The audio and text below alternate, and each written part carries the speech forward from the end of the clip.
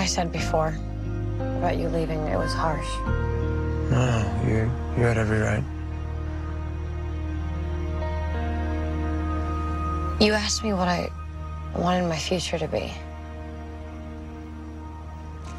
I wanted to be a writer. My mom sort of pushed me into that direction from the time I was able to read. She supported me, encouraged me, bought me my first journal.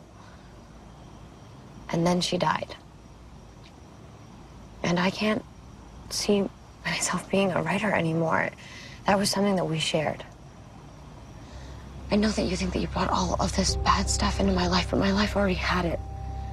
I was buried in it. This is different. It doesn't make it any less painful.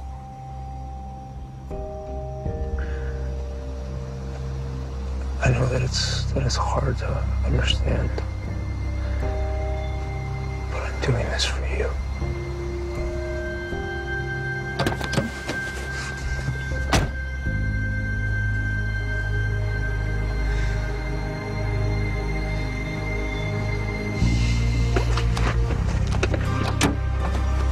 No. You don't get to make that decision for me. If you walk away, it's for you because I know what I want. Stefan, I love you.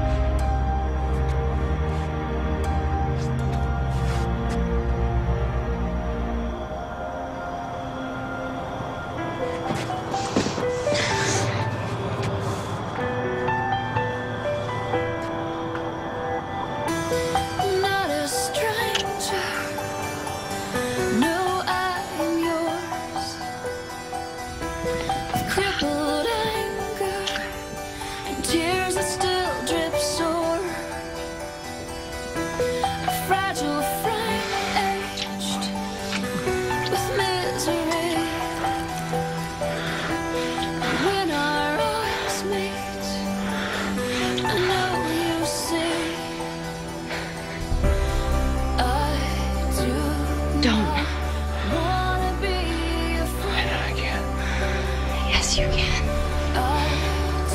Don't hide from me.